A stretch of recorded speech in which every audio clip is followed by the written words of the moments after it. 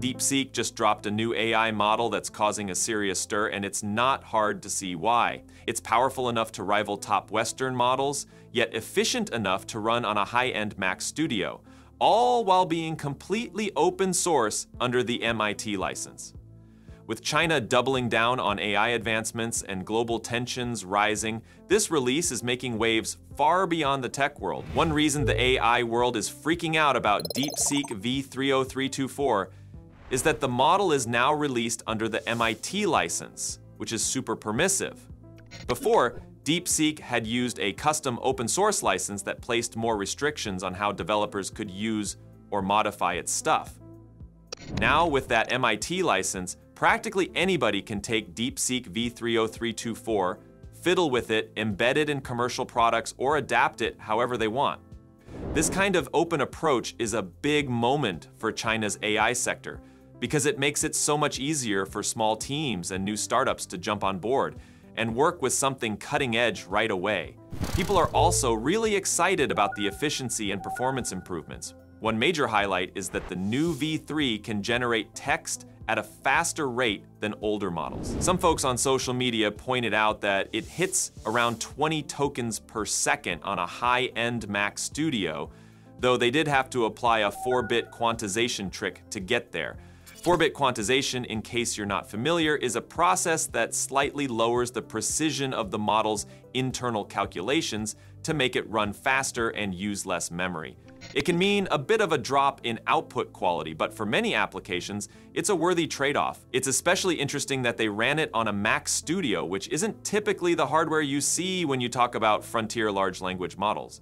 This particular setup did have a hefty $9,499 price tag, but it's still remarkable that you don't need a full-blown data center or monster GPU cluster to see decent speeds. V30324 also has this approach where it doesn't activate all of its parameters every time it answers a question. Specifically, we're talking about a total capacity of 671 billion parameters, but only about 37 billion of them get used per prompt. It's often referred to as a mixture of experts strategy, although DeepSeek sometimes phrases it in its own special terms. Mixture of experts means you don't keep everything dense all the time. Instead, you break a model into smaller specialized networks, then only call up the parts you really need for a specific problem. It's less resource intensive than trying to have a single giant model handle everything, and that's partly how DeepSeek is able to keep inference costs down. If we look back for a moment, the original DeepSeek V3 was released in December. Their engineers spent about 2.8 million graphics card hours training it on a 14.8 trillion token dataset, which is massive, but still smaller in cost than what people expected for something that size. They also included knowledge from their more advanced reasoning model, DeepSeek R1, by feeding V3 a bunch of sample prompts that R1 had already solved. R1 launched in January and quickly put DeepSeek on the map because it performed extremely well at advanced reasoning tasks, math problems, and code generation. V30324 isn't specifically optimized for reasoning in quite the same way R1 is, but it's still pretty good at logic, coding, and general problem solving. Some informal code generation tests show that it hits around 60% on Python and Bash tasks, which is definitely an improvement over previous versions, though it still trails behind R1 or Qwen32B, another top-tier reasoning model. As AI models like DeepSeek keep advancing, staying on top of these changes is more important than ever. With AI transforming the economy and reshaping how we work, knowing how to use these tools isn't just helpful, it's essential. Mastering these skills makes you more valuable and gives you a serious edge, which is why I strongly recommend Outskill's two-day AI Mastermind. It's the world's first AI-focused education platform backed by top artificial intelligence investors and founders. This weekend, they're running a 16-hour live training from 11 a.m. to 7 p.m.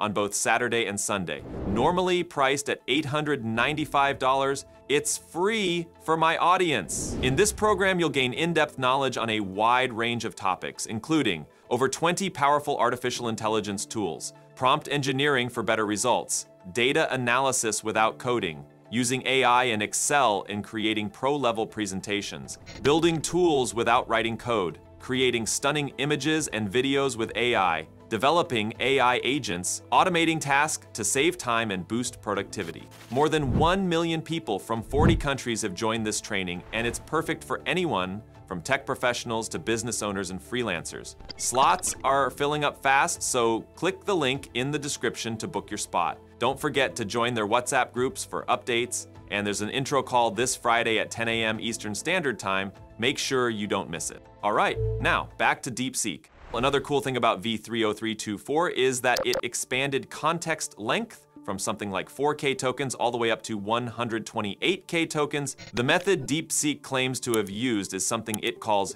YARN, yet another recurrent network. That might sound a bit quirky, but basically, it's a method for dealing with extended context windows.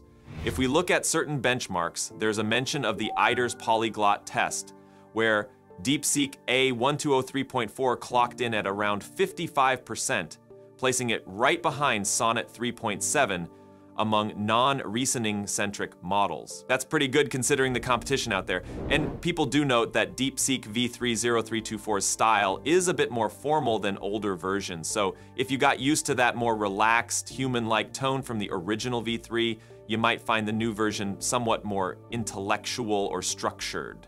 Some folks appreciate that for professional or academic uses, while others prefer a more casual vibe for chatbot interactions. Either way, it's definitely an impressive leap in terms of raw power. All this is set against a bigger backdrop. The Chinese government is apparently telling its top AI experts and entrepreneurs to avoid traveling to the US, citing security concerns.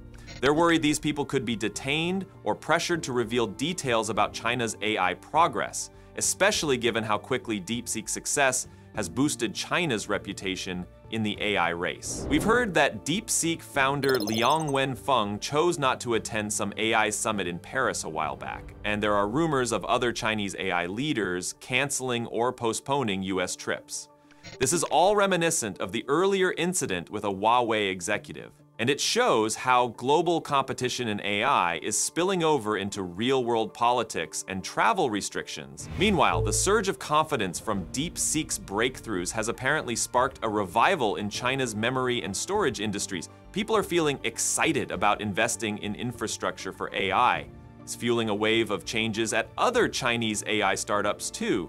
Take 01.ai for example. It's a company founded by the well-known venture capitalist and former head of Google China, Kai-Fu Lee. That company used to do its own pre-training of large models, but the costs kept going up and they decided that it might be more effective to pivot and focus on selling customized AI solutions that actually build on top of DeepSeek's models. Another name is Baichuan, which has now decided to concentrate on healthcare after briefly trying consumer chatbots and finance. Then there's Zhipu, which used to be considered a major LLM contender in China, but it's struggling with big losses and is pushing for an IPO to keep itself afloat.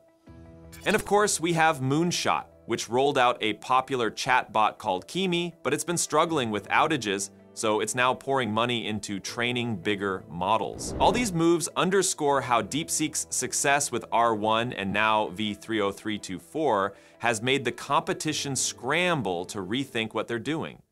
Part of what's interesting is that DeepSeek says it would rather focus on research than sell business applications directly.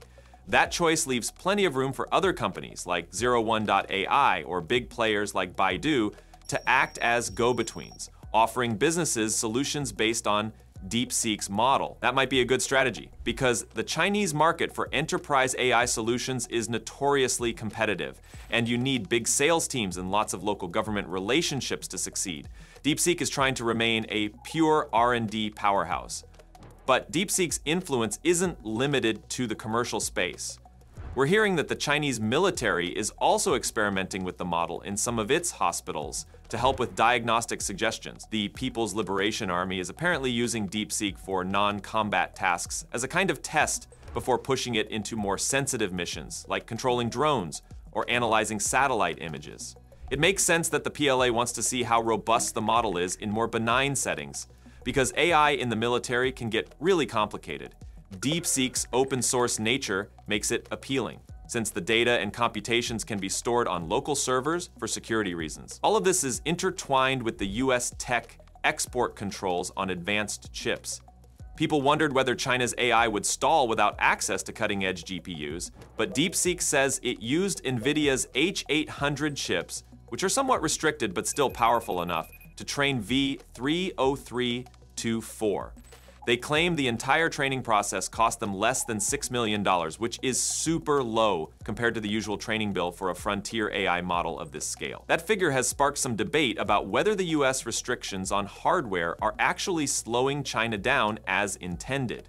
Some in Silicon Valley are worried that Chinese companies, with their mixture of experts approach, might be finding ways to accomplish world-class results without needing the absolute top-tier HPC clusters or the highest end graphics cards. It's causing quite a few heads to turn, especially since some US tech firms are said to have lost around a trillion dollars in market value amid concerns that Chinese AI could surpass them. Even Donald Trump made a remark about DeepSeek, calling it a wake up call for American tech.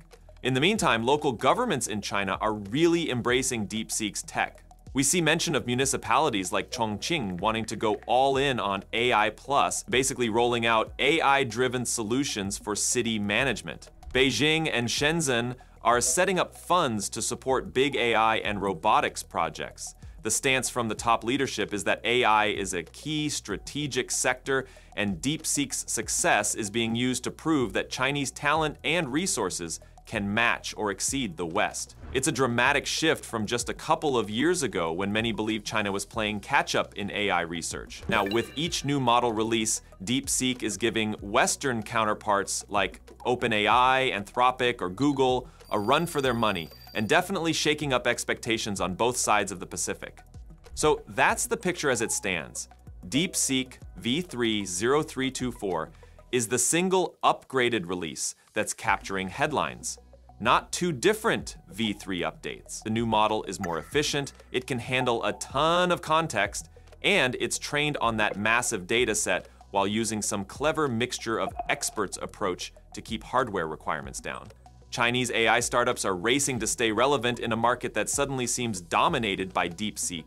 Local governments are jumping in to transform public services, and even the Chinese military is dipping a toe in the water with non-combat deployments. Add in the friction with the US over chip export controls and concerns about detaining AI experts, and you have one of the most dramatic stories unfolding in the world of tech right now. I hope this gave you a solid overview of what's going on with DeepSeek's new V30324 model. I really think we're only at the start of a massive shift, and it'll be fascinating to see how this plays out in the coming months. As always, thanks for tuning in, and I'll catch you in the next update.